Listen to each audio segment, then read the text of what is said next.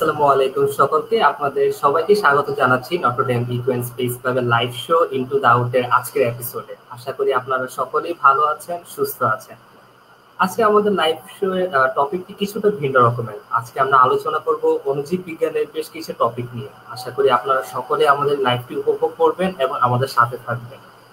এবং এই লাইভটি পরিচালনা করার জন্য আমি আপনাদের সাথে রয়েছি আপনাদের হোস্ট মোরসেলিন আহমেদ ফারাবি এবং আমার সাথে কোহোস্ট হিসেবে রয়েছেন এবং আমি রিয়াসাদ জামান আজকের দিনে আমাদের সাথে যিনি অতিথি হিসেবে রয়েছেন, তিনি কিন্তু একাধারে গবেষক, লেখক এবং ফেসবুক কন্টেন্ট ক্রিয়েটরও বলা চলে।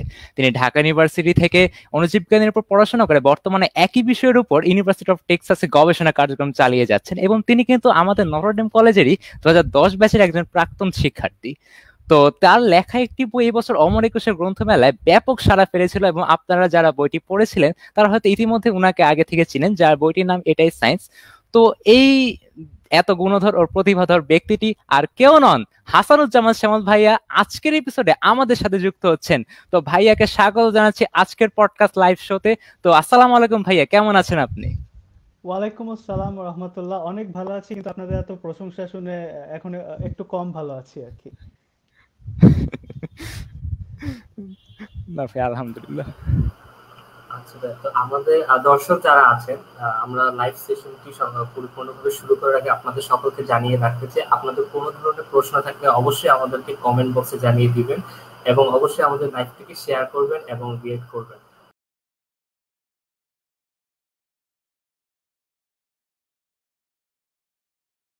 জীবাণুর উপর আপনি অ্যান্টিবায়োটিক্স প্রয়োগ করবেন, কিন্তু আমরা একটু আগে যেমনটা বললাম বায়োলজিতে কোনো কিছু স্থির নয়, জীববিজ্ঞানে সবকিছুর মধ্যেই পরিবর্তন হয়। তো তার উপর আপনি অ্যান্টিবায়োটিক্স প্রয়োগ করবেন, সে আসলে চুপচাপ বসে থাকবে না। সে অ্যান্টিবায়োটিক্স এর সাথে আস্তে আস্তে খাপ খাওয়াবে।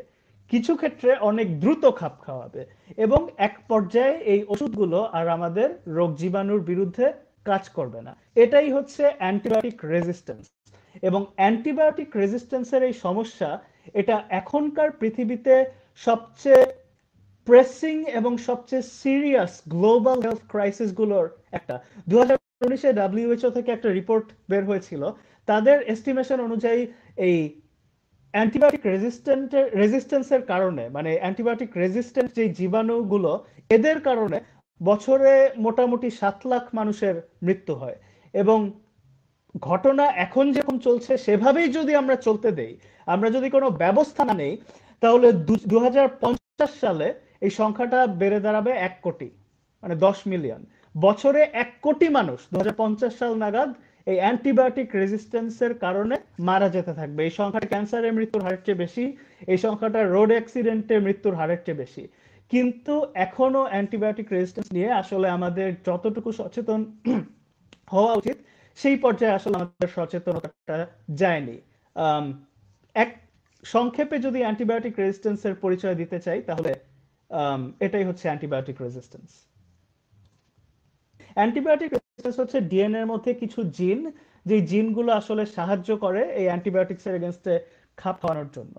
তো একটা ব্যাকটেরিয়া যার অ্যান্টিবায়োটিক রেজিস্ট্যান্স জিন আছে, এটা যদি একটা অন্য ব্যাকটেরিয়ার সাথে এই জিনটা শেয়ার করে ফেলে, তাহলে এই নতুন ব্যাকটেরিয়াটাও আসলে অ্যান্টিবায়োটিক রেজিস্ট্যান্ট হয়ে যাচ্ছে।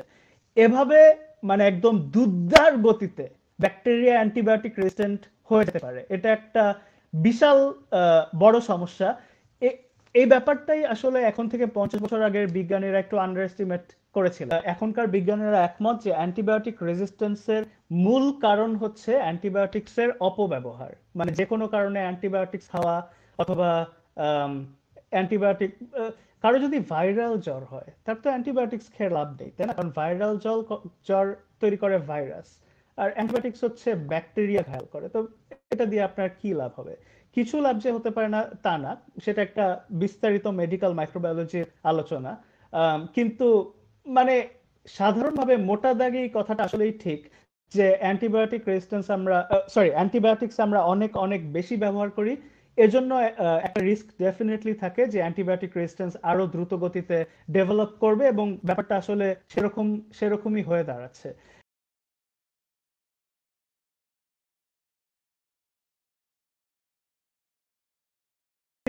মধ্যে অনেকগুলো ল্যাব আছে এক একটা ল্যাব বা একটা পরীক্ষাগার বিভিন্ন বিষয় নিয়ে গবেষণা করে।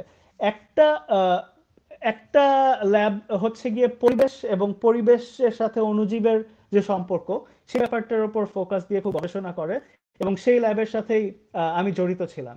সেই ল্যাবের কিছু বিজ্ঞানী বেশ কয়েকদিন ধরে সরি বেশ কিছু বেশ কয়েক বছর ধরে আমাদের দক্ষিণাঞ্চলের রোহিঙ্গা সমস্যা নিয়ে কাজ করছেন। যে রোহিঙ্গা, ঠিক আছে, রোহিঙ্গাদের এটা অবশ্যই একটা সামাজিক রাজনৈতিক সমস্যা, কিন্তু একই সাথে এটা একটা স্বাস্থ্য সমস্যা। তা ওই এই মানুষগুলো যারা আমাদের দক্ষিণাঞ্চলে আছেন, তাদের অনেক ক্ষেত্রেই আমরা যথাযথ সুযোগ সুবিধা দিতে পারছি না, এখানে জনবসতি অনেক বেশি এটা হচ্ছে পৃথিবীর যে কোনো শরণার্থী ক্যাম্পের একটা অবধারিত বাস্তবতা যে সব জায়গায় সংক্রামক রোগের হার অনেক বেশি হয়, এবং বিশেষ করে ওয়াটার অ্যান্ড স্যানিটেশন পানি এবং পয় নিষ্কাশন, এই জাতীয় প্রবলেমগুলো অনেক বেশি থাকে। তো এ ধরনের প্রেক্ষিতে বিজ্ঞানীরা অবশ্যই গবেষণা করতে অনেক অনেক পছন্দ করেন, কারণ এগুলো মানে জনস্বাস্থ্যে, এগুলো আমাদের জনস্বাস্থ্য সম্পর্কে অনেক কিছু শেখায়। তো এই বিজ্ঞানীরা, তারা রোহিঙ্গা ক্যাম্পে পানির উৎস নিয়ে কাজ করেছেন। রোহিঙ্গা ক্যাম্পে পানির উৎস হচ্ছে টিউবওয়েল ওখানে অথরিটি বা কর্তৃপক্ষ অনেক টিউবওয়েল বসিয়েছেন। সেই টিউবওয়েল থেকে তারা পানি ব্যবহার করে বিভিন্ন প্রয়োজন মেটান। তো তারা টিউবওয়েল এবং বাসার কলসের মধ্যে যেই পানিটা রাখা হয়, সেখানে কি কি জীবাণু পাওয়া যায় সেটা নিয়ে গবেষণা করেছেন। এবং গবেষণা করে দেখেছেন, পাঁচ ভাগের এক ক্ষেত্রে এই জীবাণুদের মধ্যে অ্যান্টিবায়োটিক রেজিস্ট্যান্স দেখা যাচ্ছে। লক্ষ্য করুন এই জীবাণুগুলো কিন্তু দেহের ভেতরের জীবাণু নয় এটা হচ্ছে পানির মধ্যে পাওয়া জীবাণু। কিন্তু সেই পানির মধ্যেও অ্যান্টিবায়োটিক রেজিস্ট্যান্স দেখা যাচ্ছে। তার মানে অ্যান্টিবায়োটিক রেজিস্ট্যান্স আসলে একটা পরিবেশের সমস্যা। পরিবেশে যেমন বিভিন্ন ধরনের বিষ নিয়ে আমাদের চিন্তা করতে হয়, প্লাস্টিক নিয়ে যেরকম আমাদের চিন্তা করতে হয়, একইভাবে পরিবেশের প্রেক্ষিতে অ্যান্টিবায়োটিক্স এবং অ্যান্টিবায়োটিক্স রেজিস্ট্যান্স নিয়েও আমাদেরকে চিন্তা করতে হবে।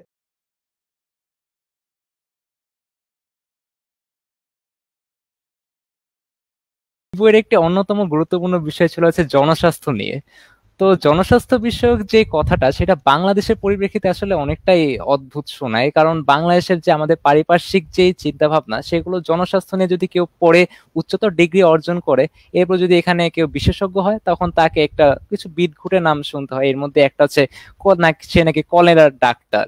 এরকম আরও অনেক নামে শুনতে হয়। তো বাংলাদেশের মতো দেশে যেখানে জনস্বাস্থ্যের উপর আরও বেশি জোর দেওয়া উচিত ছিল, তো সেখানে কি এরকম বিরূপ মন্তব্য আসলে কতটা প্রভাব ফেলবে এই দেশের জনস্বাস্থ্য বিষয়ক? যে এটা কি একবারে ভেঙে পড়ার সম্ভাবনা আছে কিনা? ধন্যবাদ। হ্যাঁ প্রশ্নটা ডেফিনেটলি খুব গুরুত্বপূর্ণ এবং ইন্টারেস্টিং এই প্রশ্নটা একজন সায়েন্স কমিউনিকেশন বা পাবলিক পলিসি নিয়ে পাবলিক সায়েন্স এডুকেশন পলিসি নিয়ে যিনি কাজ করেন, তিনি হয়তো একটু ভালো মতো দিতে পারবেন। কিন্তু আমার মতে এই জনস্বাস্থ্য নিয়ে মানুষের যে একটু বিরূপ মতবাদ, এই প্রেক্ষিতে খালি দুটো মন্তব্য করতে চাই। প্রথম কথা, বাংলাদেশ থেকে যত ইন্টারেস্টিং রিসার্চ হয়, তার একটা বড় অংশ হচ্ছে জনস্বাস্থ্যের রিসার্চ জনস্বাস্থ্যের গবেষণা। এ ব্যাপারে কোনো সন্দেহ নেই। কাজেই কেউ যদি এই প্রশ্ন করেন যে বাংলাদেশে কি গবেষণা হচ্ছে, বাংলাদেশের রমরমা গবেষণা কি আপনাকে অবশ্যই জনস্বাস্থ্য গবেষণার দিকে তাকাতে হবে। জনস্বাস্থ্য বলতে শুধু আমরা কলেরা যে বুঝি ব্যাপারটা তা নয়, জনস্বাস্থ্যের সাথে অনেক বড় বড় ইস্যু জড়িত, যেমন ক্লাইমেট চেঞ্জ আইসিডিডিআরবির একটা আলাদা সেকশনই আছে ক্লাইমেট চেঞ্জ অর্থাৎ জলবায়ু পরিবর্তন নিয়ে, এবং তারা প্রতিনিয়তই খুবই গুরুত্বপূর্ণ সব পেপার এবং গবেষণা প্রবন্ধ প্রকাশ করে চলেছেন। আমি যেটা মনে করি আসলে জনস্বাস্থ্য নিয়ে মানুষের এত ইন্টারেস্ট না থাকার একটা কারণ খুব সম্ভবত যে সময়টাতে এই কলেজে বা ইউনিভার্সিটির প্রথম বছরগুলিতে জন মানে বিজ্ঞানের প্রতি আমাদের একটা মানে অনুরাগ তৈরি হয়, সে সময় আমরা তাকাই, একটু ব্যাপারটাকে আমি সেন্সিটিভলি কীভাবে বলতে পারি? সে সময় তাকাই একটু মানে চক্কর বক্কর সায়েন্সের দিকে। যেমন এই থিওরিটিক্যাল ফিজিক্স অথবা parallel universe quantum mechanics dinosaur ইত্যাদি, এই ধরনের একটু চক্কর বক্কর সায়েন্সের দিকে আমরা একটু বেশি তাকাই এবং সেটা খুবই আন্ডারস্ট্যান্ডেবল সেটা অথবা ম্যাথ অলিম্পিয়াড এগুলো খুব আন্ডারস্ট্যান্ডেবল কারণ এগুলোর মধ্যে মানে এগুলো দূর থেকেই বোঝা যায় জিনিসগুলো ইন্টারেস্টিং মানে দেখলেই বোঝা যায় যে জিনিসগুলো খুব ইন্টারেস্টিং এবং এগুলোকে ইন্টারেস্টিং করে তোলাও আমি মনে করি অপেক্ষাকৃত অপেক্ষাকৃত সহজ। কারণ জিনিসগুলি একটু মাইন্ড ব্লোয়িং টাইপের ব্যাপার। ডেফিনেটলি সেগুলো প্র্যাকটিক্যাল হচ্ছে থিওরিটিক্যাল দিকগুলো আর কি একটু বেশি দেই। হ্যাঁ হ্যাঁ ডেফিনেটলি মানে ডেফিনেটলি আমি মনে করি এই জিনিসগুলো গুরুত্বপূর্ণ। মানে বিজ্ঞানের প্রতি ইন্টারেস্ট না থাকার চেয়ে তো থাকা ভালো। সো সেদিক থেকে ডেফিনেটলি গুরুত্বপূর্ণ। কিন্তু আমি মনে করি পাবলিক হেলথ বা জনস্বাস্থ্যের ইস্যুগুলিও আসলে খুবই ইন্টারেস্টিং সেটার কারণ পাবলিক হেলথে আপনি কাদের নিয়ে কাজ করছেন? পাবলিক হেলথে কিন্তু আপনি মানুষ নিয়ে কাজ করছেন। অন্যান্য শাস্ত্রে আপনি মানুষ নিয়ে ডিরেক্টলি কাজ করছেন না। তা আপনাকে মানে কথাটা একটু মানে হয়তো ক্রুর হয়ে যায়, কিন্তু আমি সেভাবেই কথাটা বলি। আপনাকে চিন্তা করতে হচ্ছে এক গাদা মানুষ নিয়ে আমি কাজ করছি, মানুষগুলোর অভ্যাস আমি কীভাবে পরিবর্তন করব? মানে মানুষ যদি আপনার গিনিপিক হয়, আপনার চিন্তা করতে হচ্ছে, এই গিনিগুলোর অভ্যেস আমি কীভাবে পরিবর্তন করব? এই গিনিপিক গুলোকে ভালো স্বাস্থ্যের দিকে আমি কীভাবে নিয়ে যাব? মানুষ অবশ্যই খুবই জটিল প্রাণী এবং আমার বইয়ের একটা বড় থিম হচ্ছে জনস্বাস্থ্য নিয়ে কাজ করতে গিয়ে কি কি ধরনের জটিলতা তৈরি হয়? আমরা মনে করি অমুক সলিউশনটা খুব ভালো কাজ করবে, কিন্তু যখন সেটা বাস্তবায়ন করতে যাই দেখি এর ফলে আরও হাজারটা সমস্যা তৈরি হচ্ছে। সেগুলো সমাধান করার জন্য আমাদের আরও দশ দিক নিয়ে চিন্তা করতে হয়। মানে জনস্বাস্থ্যের মধ্যে এরকম প্রচুর ধাঁধা থাকে পাজল থাকে, এবং এগুলো মানে ডিটেকটিভের মতো চিন্তা করে সলভ করতে হয়। তো আমি মনে করি এই জনস্বাস্থ্যের এই ইন্টারেস্টিং দিকগুলোর দিকে যদি আমরা সায়েন্স এডুকেশন পর্যায়ে আরেকটু ফোকাস দেই, শুধুমাত্র গুরুত্ব না মানে আপনি যদি মানুষকে বলেন এটা খুব প্র্যাকটিক্যাল এটা মানুষের সাথে খুবই জীবন ঘনিষ্ঠ ঠিক আছে মানে মানুষেরা হয়তো সিরিয়াসলি নেবে, কিন্তু সেই মোটিভেশনটা আসলে যথেষ্ট না। এর সাথে এই মোটিভেশনটা মানুষকে দেওয়া উচিত যে জনস্বাস্থ্য জিনিসটা খুব ইন্টারেস্টিং আমি মনে করি অনেক ক্ষেত্রে জনস্বাস্থ্যের সমস্যাগুলো হয়তো কোয়ান্টাম মেকানিক্স কম ইন্টারেস্টিং নয়। তো এই ধারণাটা যদি আমরা হাই স্কুল হাই স্কুলের আগে থেকেও মানে নর্মাল স্কুল থেকেও যদি আমরা দেওয়া শুরু করি, তাহলে হয়তো এ ব্যাপারে চিন্তাধারা আরেকটু পরিবর্তন আসবে। কিন্তু শেষে একটা কথাই বলি, আমি মাইক্রোবায়োলজিস্ট আমি public science education policy expert না। তো এরকম একজন মানুষ হয়তো এই ব্যাপারে আরেকটু মুন্সিয়ানার মতো উত্তর দিতে পারবেন।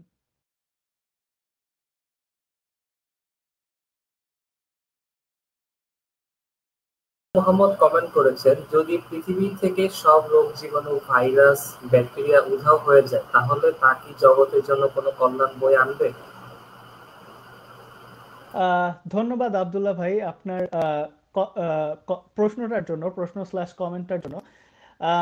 এটা এটা খুবই ইন্টারেস্টিং একটা প্রশ্ন। আমি মনে করি আপনি যদি মাইক্রোবায়োলজি বা অণুজীব বিজ্ঞান নিয়ে ইন্টারেস্টেড হয়ে থাকেন, আপনার যদি জানতে ইচ্ছা করে জীবাণু নিয়ে পড়ে কি হবে, আপনার একটা গবেষণা প্রবন্ধ পড়া উচিত। এটার লিঙ্ক আমি চেষ্টা করব এই লাইভের নিচে দিয়ে দিতে। সেখানে হচ্ছে কিছু বিজ্ঞানী বসে বসে থট এক্সপেরিমেন্ট করেছেন। মনে করুন কালকে পৃথিবী থেকে সব জীবন উধাও হয়ে গেল, তাহলে আমাদের পরিস্থিতি কি হবে? এই ব্যাপারটা নিয়ে তারা চিন্তা ভাবনা করেছেন এবং তাদের কিছু কিছু ফলাফল ছিল এরকম যে আসলে অনেক ক্ষেত্রে আমরা মানে জীবাণুর একটা বিশাল বড় ভূমিকা হচ্ছে পরিবেশের ভারসাম্য রক্ষার্থে। ইনফ্যাক্ট ওই একটা উদাহরণ নিয়ে কথা বলি পুরো ব্যাপারটা নিয়ে কথা বলতে গেলে অনেক সময় চলে যাবে। জীবাণুর একটা বিশাল বড় ভূমিকা হচ্ছে পরিবেশের ভারসাম্য রক্ষার্থে। আমরা মনে করি সালোক সংশ্লেষণ করে গাছ। ডেফিনেটলি পৃথিবীতে সালোক সংশ্লেষণের একটা বড় অংশ করে গাছ, কিন্তু তার চেয়েও বেশি সালোক সংশ্লেষণ করে সমুদ্রের মধ্যে থাকা কিছু অনুজীব যাদেরকে আমরা বলে থাকি অ্যালজি সো এই জিনিসগুলো যদি হঠাৎ করে উধাও হয়ে যায়, তাহলে পরিবেশের ভারসাম্য নিয়ে আমাদের একটা বিশাল বড় ঝামেলায় পড়তে হবে। তখন আমাদের নতুন করে চিন্তা করতে হবে যে, আমাদের খুব তাড়াতাড়ি নতুন কোনো টেকনোলজি তৈরি করে পরিবেশের ভারসাম্য রাখার একটা নতুন ব্যবস্থা করতে হবে। মানে পৃথিবী ছাড়া অন্য গ্রহে থাকলে আমাদের যেভাবে চিন্তা করা লাগতো মানে অনুজীবরা চলে গেলে অন্ত মানে আমাদের অনেকটা ওইভাবে চিন্তা করতে হবে। জীবাণুরা মিলিয়নকে মিলিয়ন বিলিয়নকে বিলিয়ন বছর থাকার ফলে পৃথিবীটা আমাদের জন্য বাসযোগ্য করে তুলেছে।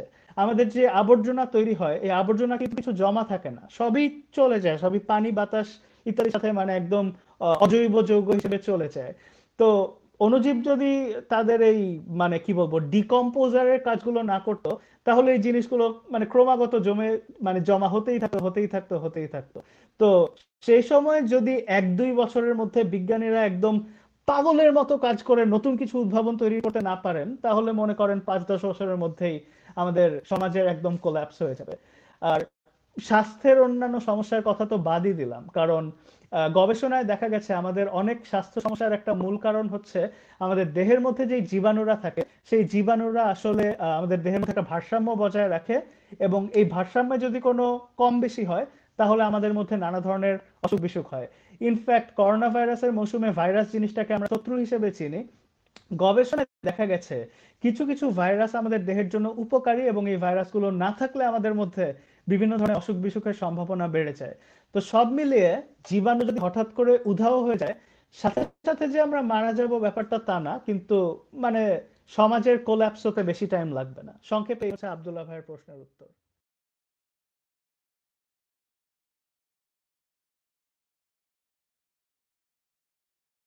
বিজ্ঞানের উচ্চ থেকে উচ্চতর শিখরে পৌঁছাতে চায়।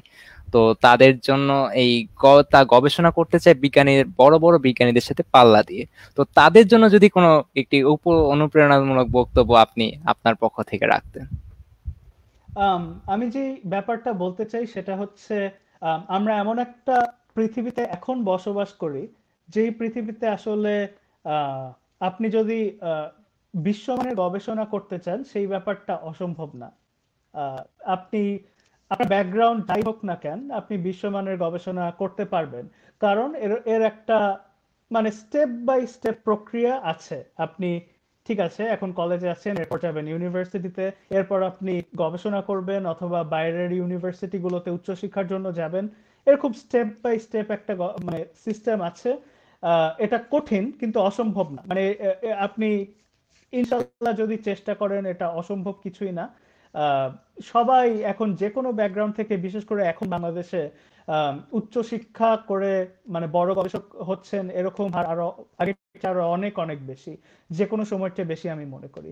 কাজেই এটাই আমার মনে হয় মেইন টেক আওয়ে পয়েন্ট যেটা কলেজ পর্যায়ে মানুষজনের মনে রাখা উচিত যে, এটা আসলে মানে ছোটবেলায় বিজ্ঞানী হওয়ার যে একটা চিন্তা থাকে, এটা কোনো এটা অবাস্তব স্বপ্ন না। এটা খুবই রিয়েলিস্টিক একটা স্বপ্ন।